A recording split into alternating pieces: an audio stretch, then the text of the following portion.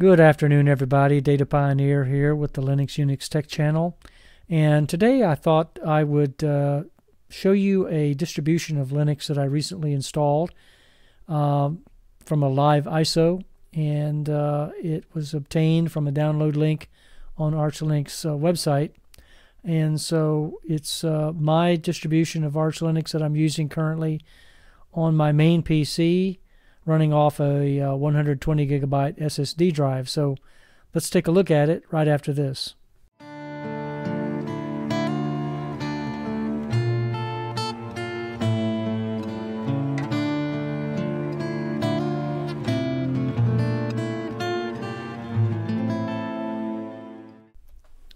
Okay, I'm back, and um, I'm up on the Arch Linux website at archlinux.org, and um, I'm actually out on the download link here. So if you click on the download, if you're on the home page, and here's the home page, you click on the download link, it'll take you out to this page here.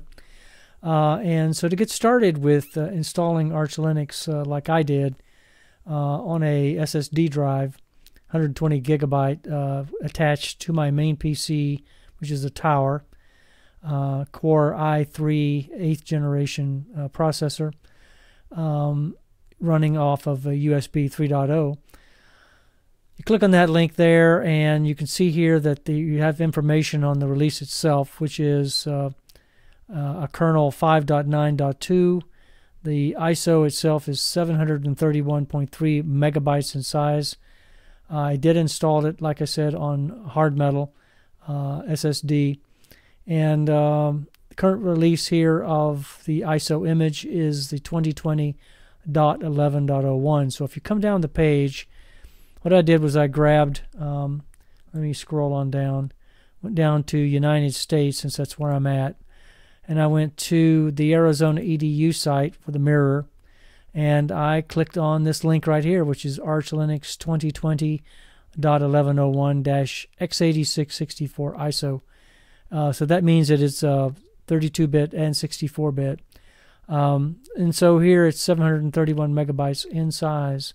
So I clicked on that, and when I grabbed that link, um, then I installed Arch Linux from this ISO. So let's go out briefly here to uh, distrowatch.com. So here's the website, uh, and I'll put a link to all of these down below the video, by the way. But we're out on distrowatch.com. It's a great website for following uh, distributions of Linux and um, also uh, BSD and some other, uh, even Windows, I believe.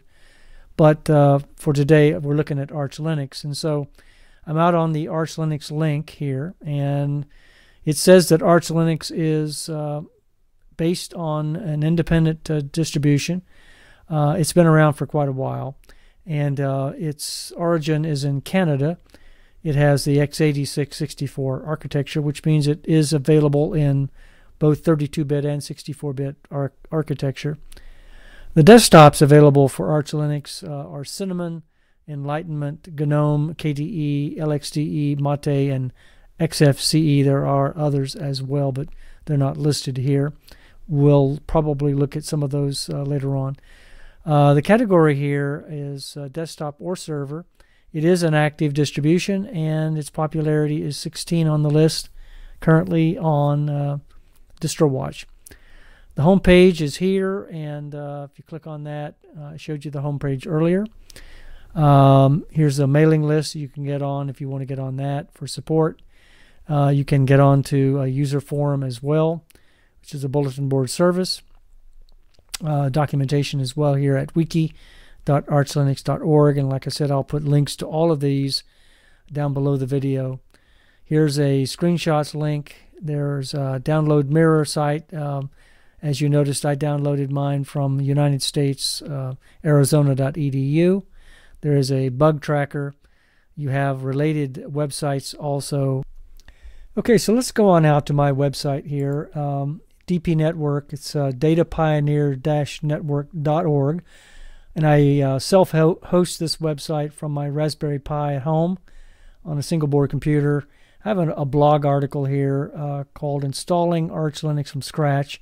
It's actually from a live ISO but I uh, I called it from scratch. If you read the article, it tells you a little bit about the process and everything. But if you come down here, there is a video that I've embedded into the article, and it is uh, it's called the Complete Arch Linux Guide 2020, and uh, you can read about uh, the individual who created this. It's called um, his channel rather is called Top Linux Tech, and uh, it's a great video. It's about two hours and 22 minutes long, so it's pretty long. But what it does is it replicates basically the steps that you would follow uh, here on the wiki, uh, which is wiki.archlinux.org, and I'll put links to all of these down below the video, um, which is the installation guide for installing Arch. Okay, and so it walks you through the pre-installation for acquiring the the image, for verifying the signature, uh, booting up the live environment, and doing the whole nine yards. The installation, the configuring the system, uh, the final reboot, and then the post-installation work that you need to do. I'm not going to go through that today because that's covered in that video on my website. All right.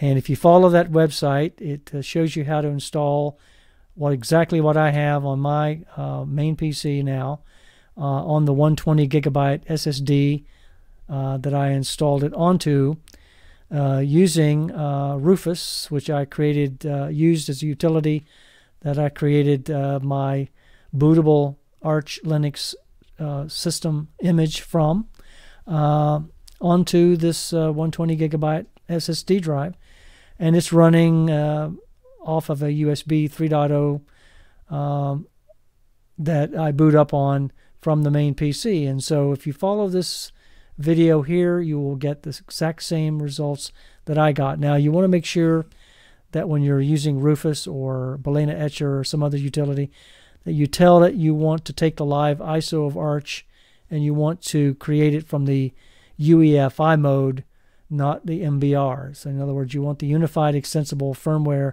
Interface mode, not the Master Boot Record mode, or it won't work.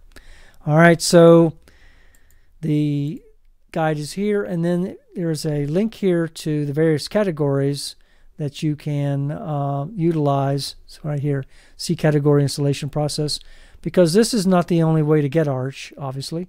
This is from the live ISO. You can do it purely from scratch, uh, which means that you would uh, compile all of your source code into binaries and that kind of thing. That's an extremely long process.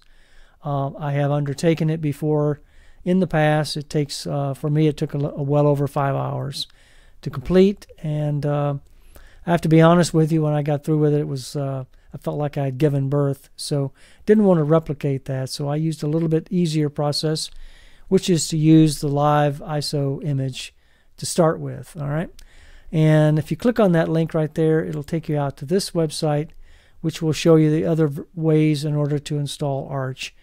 Uh, highly recommend using the installation guide, using the live ISO, and uh, using the utility either Rufus or Balena Etcher or whatever, and uh, creating that bootable uh, image onto a another media uh, that will serve as your um, distribution. Okay, so I wanted to uh, go on out to my Arch Linux uh, desktop and on my main PC, and this is running off the 120 gigabyte uh, SSD drive that I mentioned earlier. Here it is. This is my Arch Linux distribution. I think it's really great. it um, once you complete all the steps that are in the video that I uh, showed you earlier, you're going to come up to uh, just you know a, a, server interface, no GUI. You're going to need to install the GNOME desktop environment and also the Xorg window manager. Uh, I've done both of those, of course, and so now I have the uh, GNOME um, 3.x uh, environment, desktop environment, and I also have Xorg a window manager running. I think it may even be Wayland because I believe Wayland is in the ISO. Um, but anyway, this is it. And so let me uh, show you around. Now, this is not what you get out of the box. Uh, this is uh, some tweaking was done here per the instructions in the video that I linked to earlier in my article.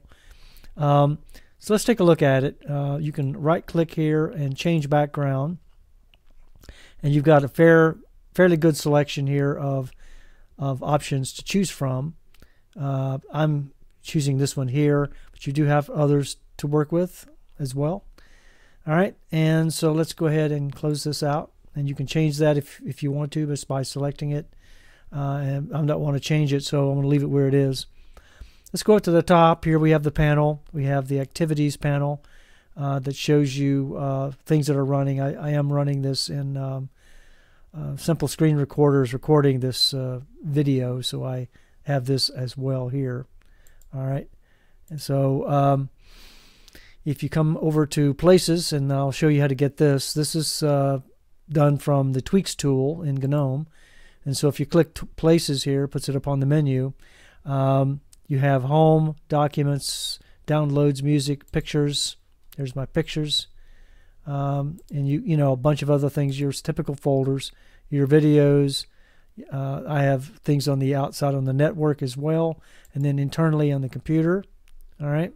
This is a UEF, UEFI mode, so it's GPT, um, GUID to partition uh, type, and so it's not MBR, and so you can see that uh, in the uh, file structure here um, of the uh, operating system. All right, so if you come across, here's a calendar. You've got a notifications area. You can click on Do Not Disturb so that you're not disturbed here, and I'll go ahead and do that now so I don't get disturbed you have a, a calendar and it's still November, November 30th. And um, I can add world clocks here and select weather location if I want to on this particular calendar. All right. The time is 10:09, uh, 19 a.m. All right, and so if I click that, it goes away. I do have a um, a widget out here called a weather widget. It's provided by Open Weather Map. I do have my um, hometown of Asheville in Buncombe County, North Carolina, set up. And so it's uh, it says it's currently 43.4 degrees Fahrenheit. Pretty cold here. Not too bad. All right, if you come across, uh, here's the indicator that I do have simple screen recorder running. And um, we have here the um, notifications that, that are currently in place. And uh, over here we have their uh, workspaces and I can switch between workspaces here. So if I have something up and running, so if I bring up the uh, Brave web browser here, and I can uh, come across and get to a different workstation. These are dynamically assigned. Uh, they're not uh, manually assigned, and so uh, I got that set up. Here I have um, the external network connections that I have. I've got a backups drive and I got a 1.1 gigabyte volume as well. And I can open that up too. Here, here I have an area that gives me access to my uh, volume control, my headphones, my microphone. The uh, it is a Realtek audio USB microphone, and it is set to full volume right now. I've got I'm wired connected. I'm not Wi-Fi connected. However, I could turn this on and go to Wi-Fi if I wanted to. I have Bluetooth turned off, um, and then I can uh, power down the system and things like that as well. And if I do click on that, it's the same thing. So all of those are connected together. If you come down to the bottom, this is a, a latte dock.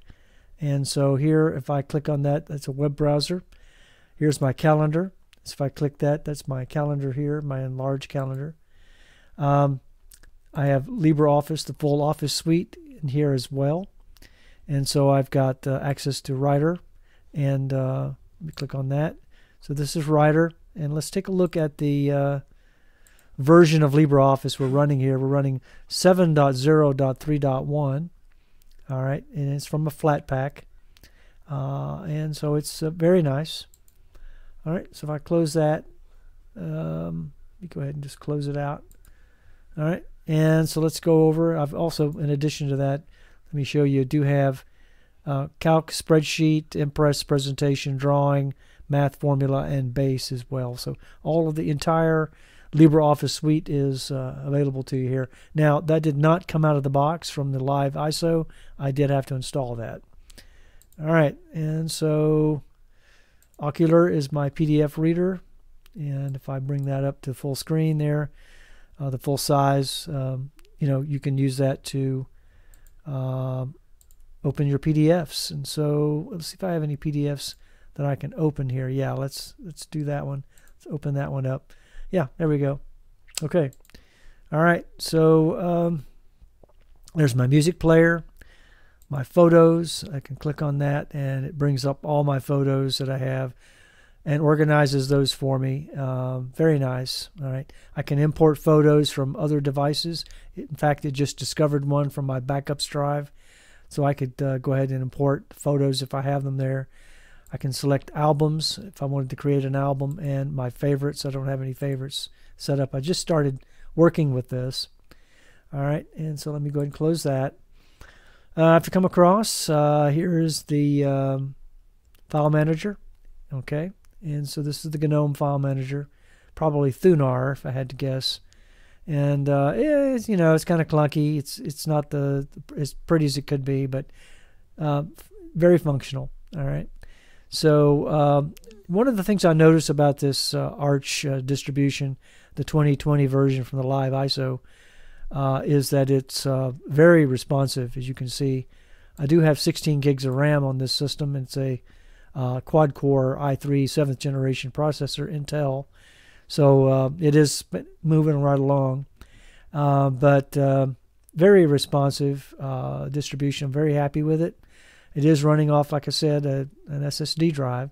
It's not internal to the computer, and so it probably is slowed down just a little bit from what it would be if it were installed uh, internally. But still very nice. All right, and um, if I click on other locations, you can see that uh, for the Raspberry Pi here, I do have some shares out there. These are Samba shares. One's called uh, File Store Vol 1. Uh, it's anonymous, so if I click connect, I don't require any authentication there. Um, you can see I have access to this. So I, it's a one terabyte uh, hard drive, spinning hard drive. I believe it's a Western Digital Black. And so, um, and it is um, set up as I said, a Samba share. It's actually controlled by Open Media Vault on a Raspberry Pi 4 that I have set up. Um, and so if you haven't used Open Media Vault, great application as well. So you can set up Samba shares, you can set up your own personal cloud, which I've done as well. And, uh, and so I, I, really like it. Okay, so um, coming across here, we have the software store. And if I bring that up to full Let's see if I can get that up to full screen. There we go. Here are some of the editor's picks. Um, Calibre. If you haven't used that, that's your um, your documents manager uh, for uh, things like uh, ebooks and short stories and that kind of thing. It, I really like that. Audio and video. Uh, there's a ton of stuff here, guys. Um, I'm not going to go through all of this, but you can see there's a ton of stuff available here for that particular category. Um, let's go back. If I go down to games, there's a, also a ton of games. If you're a gamer, you're not going to be lost in Arch Linux. And uh, and by the way, Arch Linux, uh, this version, Arch Linux in general, but this version specifically, uh, the 2020 Live ISO UEFI mode setup, uh, is a rolling release of Arch.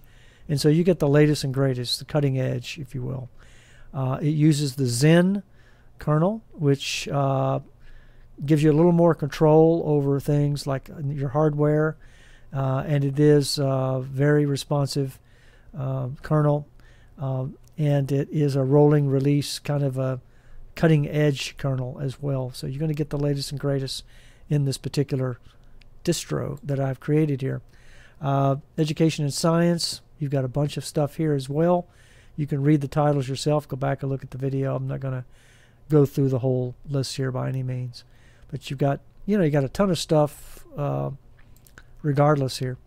Communications and news here. Um, again, ton of stuff here as well. Uh, WebTorrent, transmission, element, uh, Wireshark, you know, you name it. You got it here. Um, let's go back. Uh, graphics and photography. Yeah, you got the the usual players. GNU image manipulation. You've got Inkscape. You've got uh, KolourPaint. Um, you know, you've you've got them all. Krita. So you got everything you could think of here and more. Uh, really happy with this. Uh, and you can install things from that. productivity. Uh, you've got uh, you know your your usual stuff here as well. FocusWriter, Calibre. I don't have Calibre installed here, so I'm going to go ahead and uh, well, I'm not going to do that. Calibre requires a setup, so I'm not going to do that. Uh, let me take another one here that I might be able to install. Um, hmm, um, let's see. Let's uh, let's take a look at. Uh, come on down. Um, I don't want to get something that's going to require a lot of configuration. Um, some of these I haven't even heard of. Uh, it's really amazing how much stuff is here. But uh, let me do Red Notebook. I don't even know what that is. Uh, it's a graphical diary and journal. I'm going to go ahead and install it. You just click the install button and uh, it goes ahead and installs it for you. And then you can launch it right from here or you can close it and then you can go click activities and come up and uh, let's see, Red Book. Yeah, there we go. Red Notebook, right click and add to favorites and then just go ahead and launch it. Click on it like I said, this is very responsive. I, I really like it. So here's the red notebook, uh, the journaling software, and uh, you bring it up to full screen. I'm not going to get into it, but it's already installed. That's how quick it was. That's how easy it was. All right, here's the terminal, and uh, let's open that up. I've already configured this, by the way. And uh, let me go ahead and see if I have any, uh, I can update the repos. And so let me do a sudo um, pacman dash capital S Y Y and put in my password. Synchronizing the passage package databases. And so in Arch Linux it has three main um, package databases core extra and community repositories here. I've, I've added one of them called Heracura um, and I can't recall why I did that but I have installed that one in my repositories. So it looks at all of these, and so uh, you can use that command. Uh, Arch Linux does use the Pacman package manager, and uh, Pacman, and then Pamac is a uh, helper. the Yay is another helper, and I do have that installed as well. If I want to update the system, uh, and it is updated quite frequently, uh, you never have to worry about installing an update to another version of Arch Linux because it is a rolling release, but you do need to update the system occasionally. It will do it automatically for you and prompt you if you set it that way. But let me do a sudo pacman dash capital S Y U and uh, synchronize everything here. And it says that we do have six packages that need to be upgraded Bash, Enchant, Flatpak, Hitapi, uh, Hidapi rather, OSTree, Python lazy object proxy. So let me go ahead and say yes here and let it update.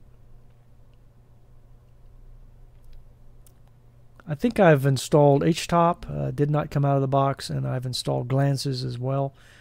Uh, I do have a video on Glances if you've never seen Glances. Uh, it's a an eye into your system. I really like Glances. All right, so it's updated. That's how quick it was. So let me clear this screen on this, and let me do HTOP. And you can see here we're running uh, 1.77 gigs out of 16. It has been up for a while. It's been running for, uh, let's see here, uptime 14 hours, 48 minutes, and 5 seconds. So, um, yeah, so it's uh, it's been up for a while, so it's been consuming some more memory than usual. If you fire this up or do a restart rather, or come up from uh, cold, um, it'll be probably running, it's still over a gig. It'll be about 1.1 gigabytes um, that it's pulling down in memory. I do have quad core here, so the processor has been run. I am running a simple screen recorder, so it is showing you here that uh, things are going on in the background. Uh, but you, we have 100 tasks. We have 353 threads, two running. Load averages look really good. You've got four cores, so these uh, figures are really wonderful at, at 1 minute, 5 minutes, and 15 minutes 1.08, 1.23, and 1.21. We do have an uptime of 14 hours, of 14 days, uh, 14 hours rather, 49 minutes and 2 seconds. Okay. All right, so let me go ahead and clear this out. Let's quit that. And uh, bring up that full screen. And let me do a uh, glances and show you what glances looks like. This is glances, and uh, I do have a video out on glances. It's different from HTOP, it's different from top. Uh, you can't kill a process using glances, but you can take a look at glances. Uh, you can see how much more information is available here. I'm not going to get into it. This video is not about glances, but we'll tell you that glances does have a web server interface or component to it, and so it's really wonderful. It has an advantage over HTOP at top in that I can go to another machine on my network and I can pull up uh, glances and monitor my Arch Linux distribution, for example, uh, just like this through a web browser using the Glances uh, web interface. And so uh, keep that in mind. Take a look at my Glances video and uh, you'll be able to do the same. So let me go ahead and clear this out. All right, and so let's do uh, uname a. So it says that we're running Linux Arch Linux GNOME 5.9.10-Arch1. Okay, if I do a df-kh here, you can see that I do have uh, root of the file system. It's is on dev sdb2. Uh, I do have home here, dev sdb3, and then boot EFI uh, partition of 500 megs at dev sdb1. So sdb1, 2, and 3 are the three partitions, and those are configured per the video that I showed you earlier uh, from the article in my uh, my website, uh, datapioneer-network.org. So take a look at that. You can replicate this as well. All right, so let me go ahead and clear the screen, and let's go ahead and exit out of the terminal. All right, so I have the Vivaldi browser installed. I have Firefox installed. Then I have my favorite Brave browser installed. You see how quick that came up? Uh, it's wonderful. Um, and if you haven't used Brave, I've got a video out on Brave as well. Take a look at it. It is a, a very secure web browser. I really like it. I have all my bookmarks here uh, that I have available, uh, and it synchronizes across all my devices. I really like uh, Brave, uh, and so I use Brave for all my, uh, and I have DuckDuckGo as my search engine. So I have this set up exactly the way I like it, and uh, I use Vivaldi occasionally, Firefox occasionally, but primarily I use Brave. All right, so let me go ahead and close this. Um, and then I have, uh, well, Kdenlive, I do editing of my videos, simple screen recorder, uh, screenshot for taking snapshots, Grsync for uh, syncing um, and doing backups and that kind of thing. PDF slicer, I have Red Notebook that I just installed. And then I've got my externals, I've got my backup drive, my trash can, and then show applications. So if I click that, brings up the applications. I've got uh, four screens of applications here. And so these are the, some of the applications that are installed on the system right now. And you do get a ton of them out of the box, but uh, things like HTOP and Kdenlive and, you know, GNU Image Manipulation Program or GIMP, th those were not installed. Uh, LeafPad was not installed, and if you haven't used LeafPad, that's a, a neat um, note. It's kind of a notepad, kind of like Windows uh, Notepad. All right, and so let me get back to the applications. Let's go back to here. And uh, so let's go down to the third screen. So you can see some of the things we have installed here. Um, highly recommend Okular for your PDF. Uh, I got Stellarium if you're an astronomer or a budding astronomer. You can take a look at that. It's a great program. I've got some utilities here, uh, text editor as well, uh, another web browser. I've got Vim installed. So it's really, really wonderful. Okay. Now, one of the other things I wanted to show you, let me go back and um, let me click out of this and let me click activities and click uh, tweak tool. And so if I click the tweak, click on the tweaks tool, hard to say, um, it brings up this uh, screen here. And so here we have uh, general. You can turn these on and off over here. Uh, so you can just turn your animations off or turn them on. For appearance here, you've got your themes. I've got the application Adwaita Dark. I like the dark theme. Uh, cursor icons, I've got the Adwaita default here. Uh, I've got the default shell, default sound. Um, I've got Ice Twigs JPEG background image here. Um, adjustments, lock screen. For extensions, here. I've got some of that I installed as well. The video that I pointed to in the article shows you how to install some additional extensions out on the web, so I'm not going to do that here.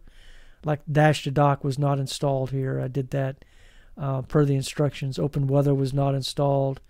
Uh, user themes was not installed. Those that kind of thing. I don't think Workspace Indicator was installed either. So those were installed uh, as extensions here in the Tweaks tool. Fonts. Um, I've got the uh, Roboto Light 14 point for legacy window tiles. Subpixel for LCD is checked uh, for anti-aliasing, and that's in the video as well. Um, keyboard and mouse, you can set that up the way you want it. Startup applications, I don't have any starting up. Top bar, uh, here's where I get the uh, battery percentage if I want it. I don't have a battery. This is on a main PC, but um, you know that kind of thing. So got hot corners that you can turn on and off. If you want to turn the clock on and off, you can turn it on and off there. Uh, calendar, that kind of thing. Um, window tile bars and windows. Uh, you can click on those things, okay? And workspaces, make them static or dynamic. I have it set up for dynamic right now, okay? All right, so uh, that's about all I wanted to show you here. And uh, you can configure your Latte dock as well, by the way. And I think my video shows you how to do that. So I'm not going to go into that here. But this is uh, my Arch Linux distribution. I really like it. It's a rolling release, like as I mentioned. Never have to worry about upgrading it to a new version. It's constantly being updated. Soon as developers uh, release the uh, updates, I get them. So uh, a very nice distribution of Linux. I've been an Arch fan for many years. I've used uh, Arch Linux since uh, its inception, pretty much. Uh, I've been using Linux since 1994. The kernel was developed by Linus Torvalds in, I think 1991, but it didn't got, become available uh, for the GNU operating system and the mainstream uh, until about 1993. So I've I've been using Linux from the begin- very beginning. Um, okay, so if you like this video, if you thought it was useful, please uh, hit the thumbs up. If you haven't subscribed to my channel, please do that as well and hit that bell off to the right to uh, make sure that you get every video that I upload as I upload it all right, and so this has been Data Pioneer with the Linux Unix Tech Channel. Have a good day. Take care. Bye bye.